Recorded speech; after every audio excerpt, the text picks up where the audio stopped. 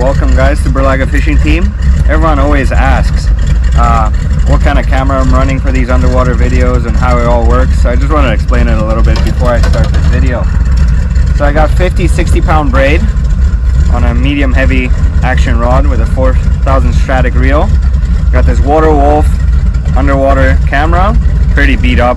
It's been held by tape already for two years after a lot of bites from pikes and lake trout and even walleye hit this camera so it's just being held on by tape just to be extra secure.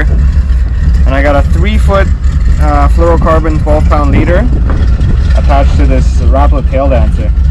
This is a 30 foot diver and they're designed to go 30 if you let out a lot of line with just with just uh, without the camera right? So when you add the camera it's pretty buoyant.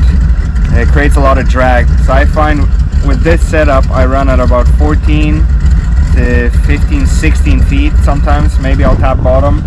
Not very often so that's why I use these deep diving crankbaits to get this camera down to see some of the walleyes and get some of these strikes.